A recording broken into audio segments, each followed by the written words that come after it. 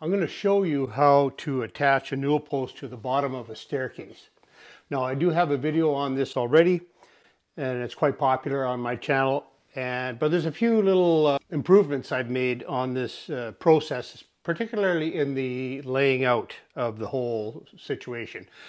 So I've got a couple of pieces of stair tread on the stairs and a straight board sitting on those nosings so I can mark the rake of the stairs. In my previous video, I laid the, the stick on the nosings of these of the stair treads and then marked the story pole like so.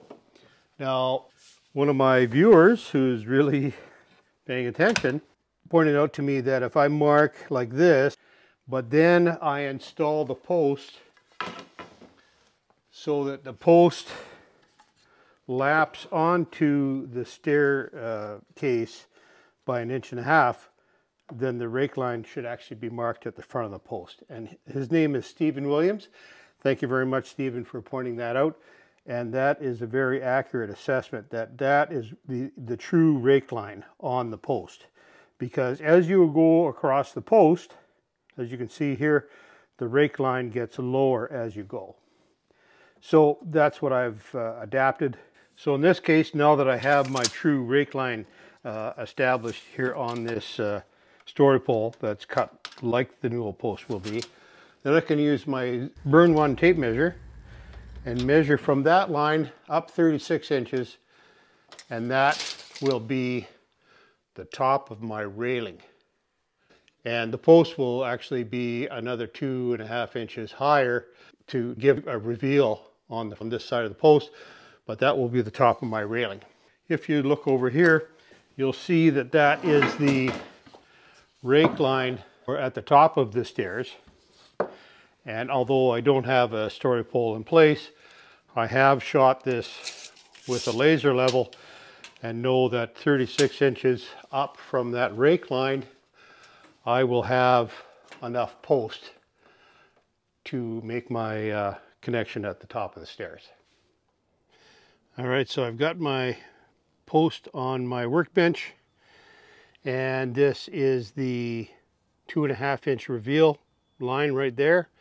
I've got the top of the story pole or the mark where the railing top is going to be is right there. I've got that lined up on my reveal mark. If I go down here this will be where I notch the post for the for the stair stringer and that will fit over top of the plywood stringer right here. And this is uh, the point or the place where I'll cut the post off right there. So this should be a foolproof way to uh, do this whole operation of uh, notching the post.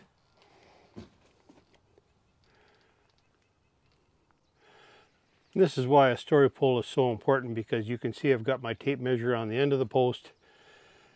And if I swing down to where I'm going to cut the post off right here, you can see that it's going to end up being 48 and a half or 5 eighths. And the factory posts from the supplier only 47 inches long. So unfortunately I have to use a longer post. And I suppose if you were doing this uh, you could just cheat on your reveal a little bit, but I don't like to do that and it's going to put everything, uh, make it look different than all the rest. So I'm going to stick with it for a few extra dollars. I'll use a longer post.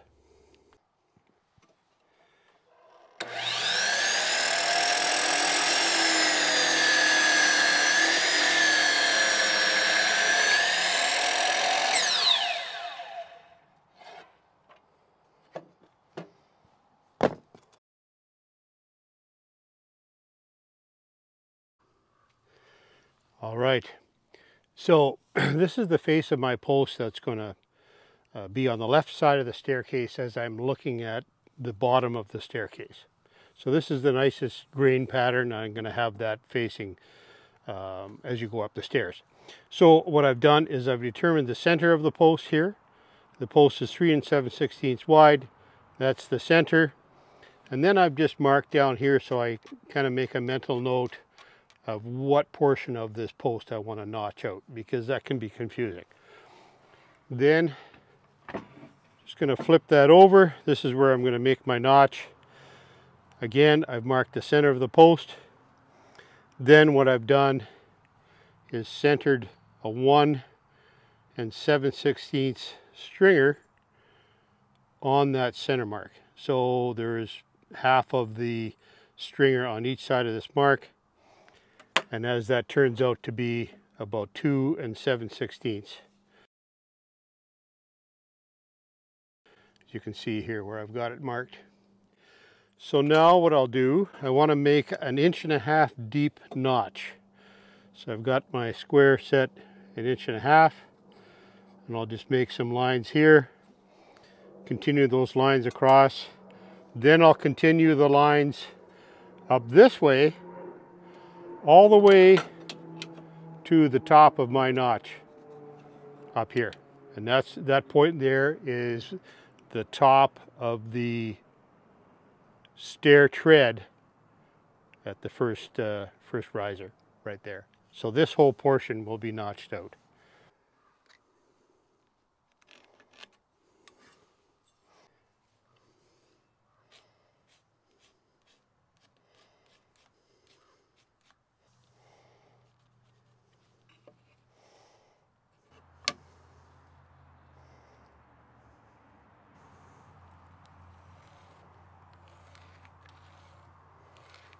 That is the depth of my notch. All this will be removed.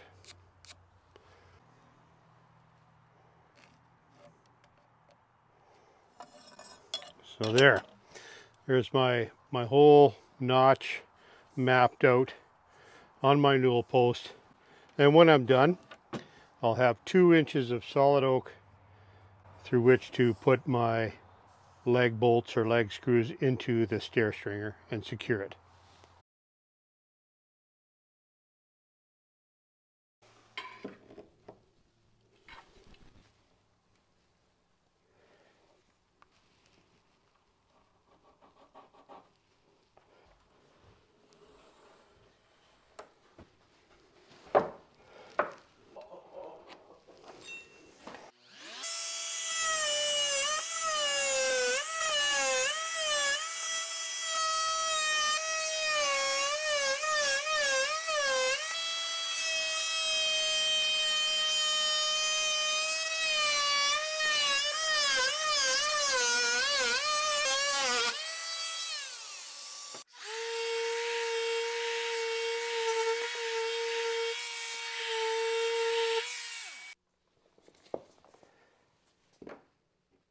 So if you've worked on uh, stairs at uh, any point, you'll know that risers are not often perfectly plumb.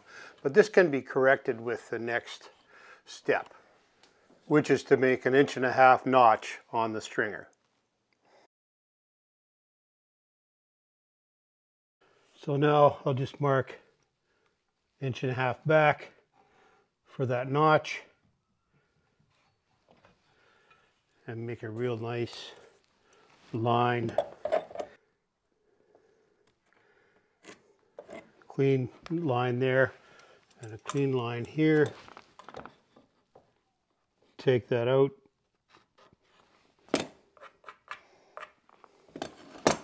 And we'll be able to cut the post and attach it.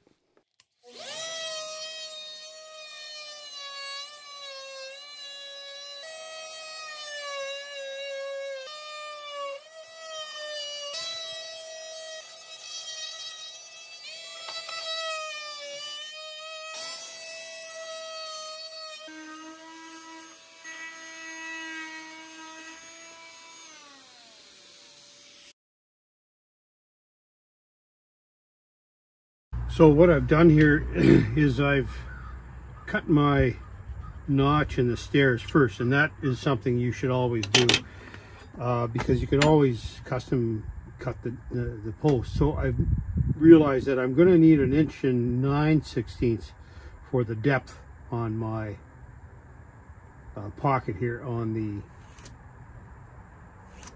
on the post. So I've got that marked out. I'll cut that and then we'll see how it fits.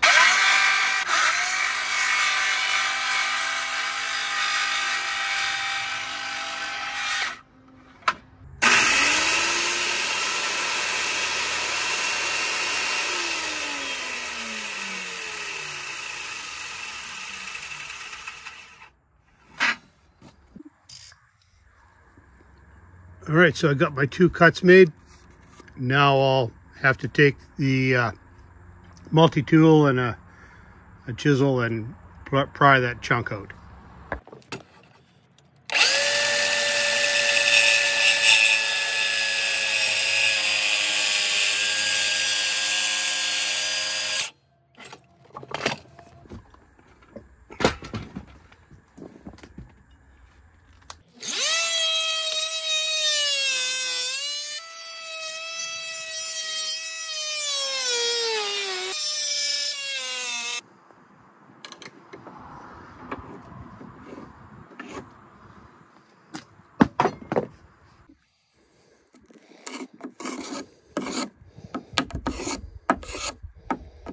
That notch is complete. I'll just clean it up a little bit with this chisel and then we'll go try it out.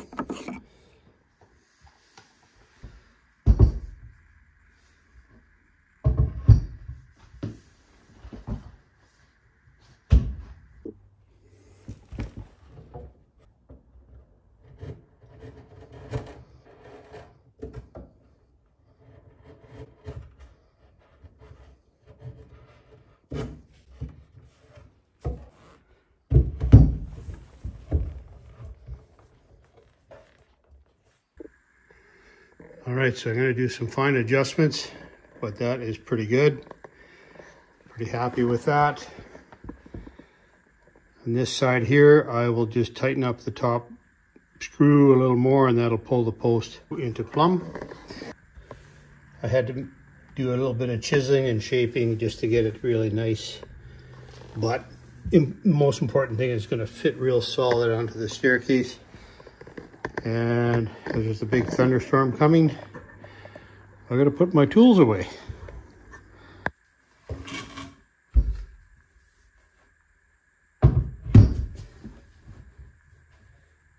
Yeah, I've just marked here and here.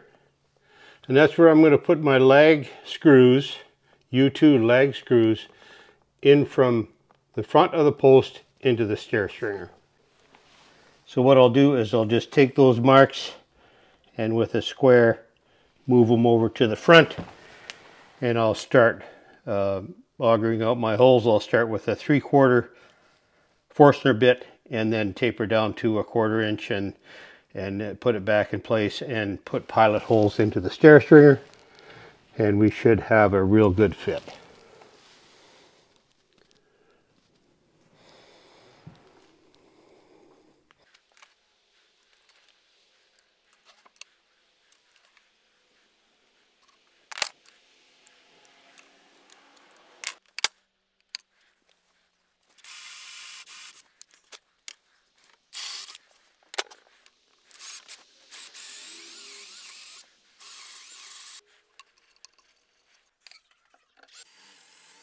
It's really important to check these pilot holes to make sure you're dead center on the stringer. You don't want your lag screws breaching the side of the stringer and making a mess.